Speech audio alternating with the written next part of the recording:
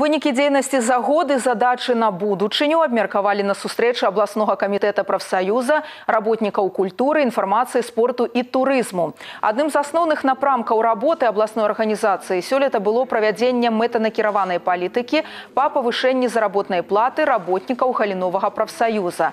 Гэтая праблема застаецца самай актуальнай. Было э, специально принято постановление по работникам культуры в июне месяце. Вот. Конечно же, в- на следующий год мы эту, эту тему, э- этот, эту- этот вопрос мы будем продолжать, потому что, еще раз говорю, что вот недавно было принято э, прекрасное постановление по работникам образования, работникам здравоохранения.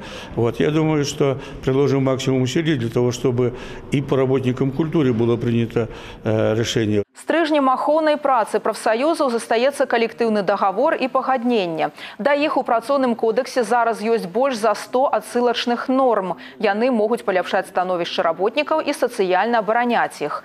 Яшчэ адным накірункам дзейнасці быў грамадскі кантроль за выкананнем заканадаўства аб працы. У гэтым годзе наймальнікам выдалі рэкамендацыі на ліквідацыю больш як 100 парушэнняў. Вялікае значэнне таксама мае дзейнасць па абароне правоў членаў прафсаюза.